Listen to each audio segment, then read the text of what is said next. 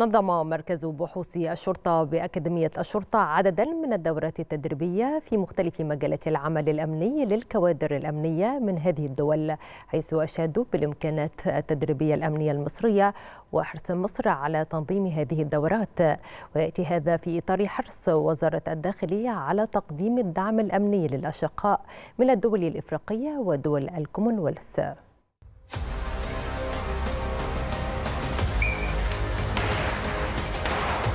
استعداد دائم من وزارة الداخلية لتقديم الدعم الفني والتدريبي في شتى مجالات العمل الشرطي لكافة الأشقاء من الكوادر الأمنية الدولية في إطار تدعيم محاور التعاون الأمني بين مصر وأشقائها. من هذا المنطلق نظم مركز بحوث الشرطة بأكاديمية الشرطة بالتعاون مع الوكالة المصرية للشراكة من أجل التنمية بوزارة الخارجية ثلاث دورات تدريبية في مجالات مكافحة المخدرات والهجرة غير الشرعية والإتجار بالبشر وحراسة وتأمين المنشآت والشخصيات الهامة ومكافحة الإرهاب الدولي. شارك فيها 137 متدربا من الكوادر الأمنية من 29 دولة إفريقية وخمس دول من دول الكومنولث مركز بحوث الشرطة بيقدم أفضل وأحدث أنواع التدريب المتواجد وده مش كلامي ده كلام المتدربين. وما يتلقوه من معلومات وتدريب آه آه نظري وعملي ما بيحصلوش عليه في دول أخرى حتى دول متقدمة.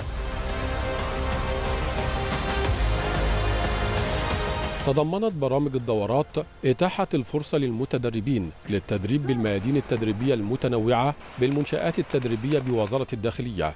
والتي تواكب أحدث المعايير والمقاييس الدولية لتعزيز قدرات هذه الكوادر وكفاءتها لمواجهة المستجدات الأمنية. وهي تعكس الخبرات الأمنية والإمكانات اللوجستية التي تتمتع بها المنظومة الأمنية المصرية وتحرص على أن يستفيد منها الكوادر الأمنية من الدول الإفريقية والشقيقة لتحقيق الاستقرار في بلدانهم. برنامج المقدم في الدورة برنامج دسم وبشقيه النظري والعملي. هذه الخبرات المتراكمة لدى الذين يعملون بهذا المعهد التي نقلوها لنا بإذن الله تعالى سوف تنقل إلى بلادنا في إطار التعاون الدولي Iskustva koja su nam prenijeli predavači i instruktori ovdje su veoma dobra i ta iskustva ću rado podijeliti sa svojim kolegama u Bosni i Hercegovini i nadam se da ćete pozvati još naših kolega da učestvuju u sličnim i ovakvim obukama. Hvala vam još jednom. كما شملت البرامج التدريبية الجانب العلمي والنظري الذي تم من خلاله استعراض المفاهيم الأمنية الحديثة المتصلة بمجال كل دورة وحضر فيها نخبة متميزة من الخبراء والمختصين هذه الدورة بتحدث فيها مع المتدربين عن الهجرة غير الشرعية والإتجار في البشر كيف تستطيع الدول الإفريقية أن تستفيد من التجربة المصرية بالنسبة لمكافحة جريمتي الإتجار في البشر والهجرة غير الشرعية وتهريب المهاجرين.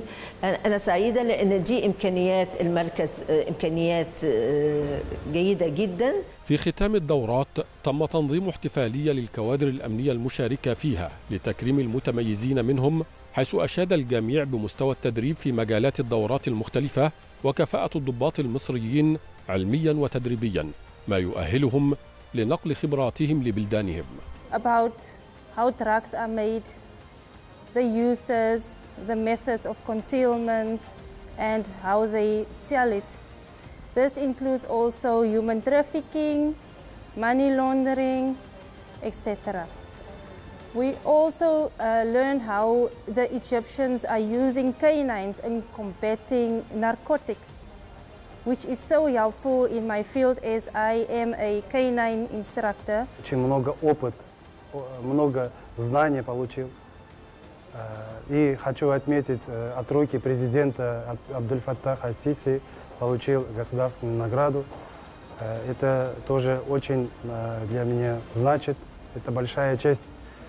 Я надеюсь, знания, которые здесь получил, использую своим родину, благо Узбекистана.